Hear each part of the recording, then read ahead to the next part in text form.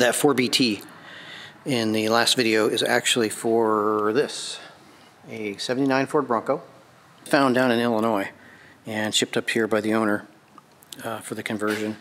And it is genuinely in amazing shape. Um, not only the body, the truck is completely rust free. Um, even the door hinges, um, sills, floor, and I've had some people remarkably are like, oh no, not the green, but no, the green is awesome. I love this color green, and it's not faded. Truck has, oh, 176,000 miles on it.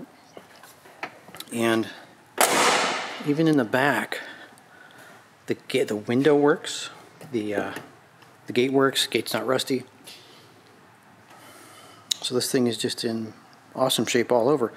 Uh, the plan for this one is pretty comprehensive. It's not just a, a Cummins swap.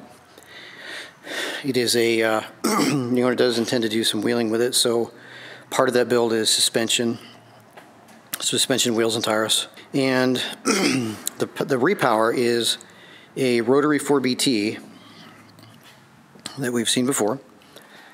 And it's it's basically a carbon copy. The, the, engine build for this will be a carbon copy of what's in our half ton that was built for us by Power Driven. So it should make about 450 torque at the rear wheels.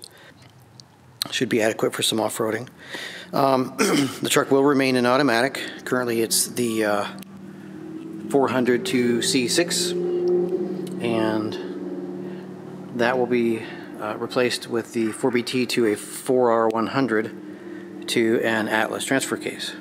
So the first thing we're going to do um, is the suspension work and the wheels and tires, basically because the, the transmission and the transfer case are uh, four to five weeks out. Um, and we have the time and the space right now, so we, uh, Jesse will start with that.